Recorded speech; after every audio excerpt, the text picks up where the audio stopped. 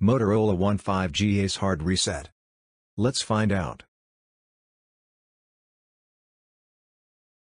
Shut down the device.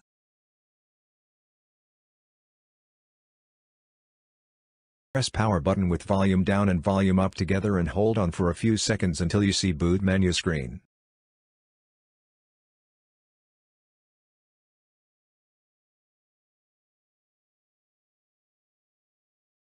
Use volume down button to select recovery mode.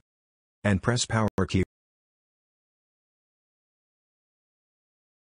when you got no command screen. Press power key with volume up.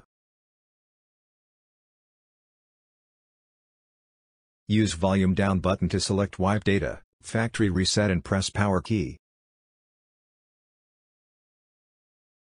Press power button to select factory data reset.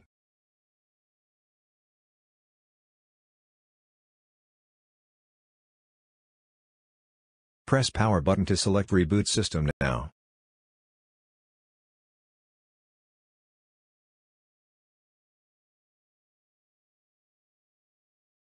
Wait a few minutes and your device will be back as it was and new.